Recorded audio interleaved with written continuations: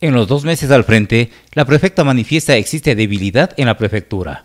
Porque lo que nosotros hemos encontrado, hemos encontrado aquí es una debilidad en los procesos institucionales, una debilidad en la documentación necesaria que una institución debe tener, eh, diríamos, una, eh, problemas fuertes que tenemos en relación a la, diríamos, a la construcción o a la elaboración mejor de distintos convenios, contratos, compromisos que eh, no, no han sido hechos de la manera más debida desde el punto de vista legal. ¿Qué ocurre con la vía al Chorro y el convenio firmado por el ex prefecto Yacu Pérez con el alcalde de Girón, José Miguel Ushka? Pasa que, que hay que revisar muy bien el convenio, hay que ver en qué condiciones fue hechas, hay que ver si esto está vinculado a temas, a temas eh, legales, si todo fue hecho en, regla y en ley.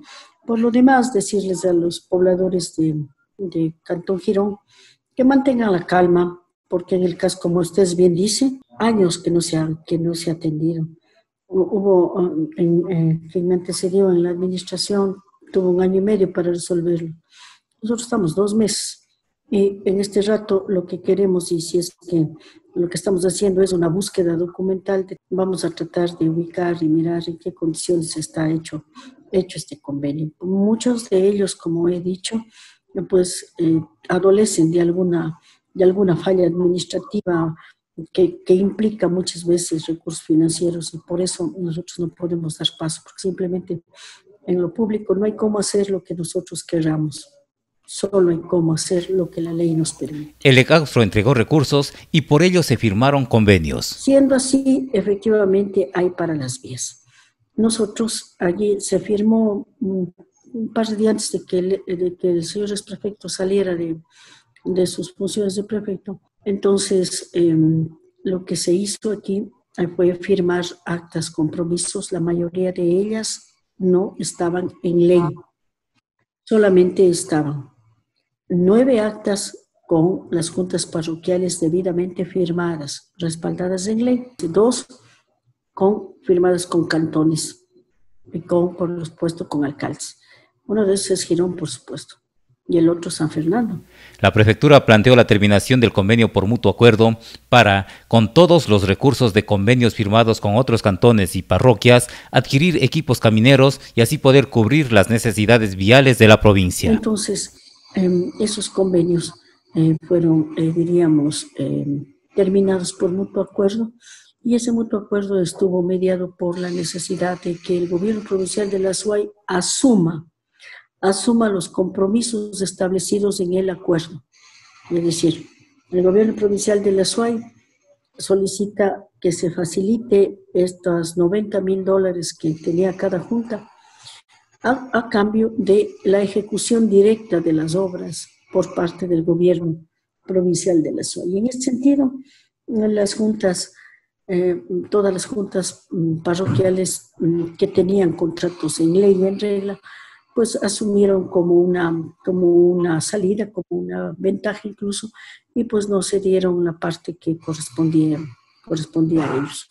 No así el Cantón Girón, que ha manifestado que quiere que se le entregue sus 200 mil dólares, que ascendían con otro tipo de, de rubros ahí.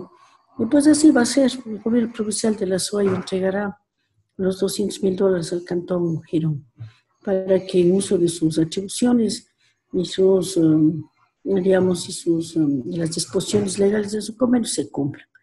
Nosotros le hemos dicho muy claramente eso al señor alcalde, a los señores que estuvieron presentes desde la primera vez que les hicimos esta propuesta. Entonces está ahí. Así será. Así lo han determinado y se cumplirá. La terminación por mutuo acuerdo representaba la obligación de la prefectura para el arreglo de las carreteras. Exactamente, y lo que el convenio dice es que hay 200 mil dólares involucrados en eso para la mirada del chorro, digamos, de la vía que usted está diciendo, etcétera, pues así será. Esto es lo que la gente ha determinado, somos respetuosos de sus decisiones y se cumplirá. Con ellos se entregarán los recursos firmados en el convenio para arreglar tan solo 1.3 kilómetros de vía al Chorro y un kilómetro en la comunidad de Santa Marianita. Por lo demás, en los términos de, de los compromisos con vías, será como el pueblo de Girón o su consejo cantonal de manera más específica decidir. Ahora, con la concurrencia entregada al municipio de Girón y la negativa de este para la terminación del acuerdo, el arreglo del asfalto de la vía al Chorro será de responsabilidad del municipio gironense. Yo entiendo que así será um, apelo a la capacidad de gestión del señor alcalde y eso es un, un asunto interno de, del ilustre Consejo Cantonal, del señor alcalde, de la ciudadanía de Girón, ya pues les toca mirar y observar y ver eh, cómo hacerlo. Yo estoy segura de que se encontrarán las fuentes financieras suficientes para ello en la gestión que todos y cada uno estamos obligados a hacer.